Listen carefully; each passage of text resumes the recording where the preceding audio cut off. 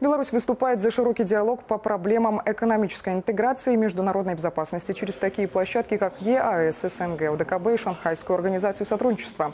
Об этом говорили сегодня в МИДе на встрече с белорусскими дипломатами в рамках обучающего семинара для послов и консулов нашей страны. Участие в заседании принял первый вице-премьер Александр Турчин. Это своеобразная сверка часов и отчет сделанного за год, который измеряется и объемом товарооборота, и новыми совместными проектами. Большие перспективы открываются в рамках стратегии с Китаем Китаем пояс и путь, говорили об инвестициях и новых возможностях для наших партнеров в Евразийском экономическом союзе, а также о транзите грузов с востока на запад. Ключевой темой стала необходимость увеличения экспорта отечественных товаров и услуг за рубеж на азиатские и европейские рынки.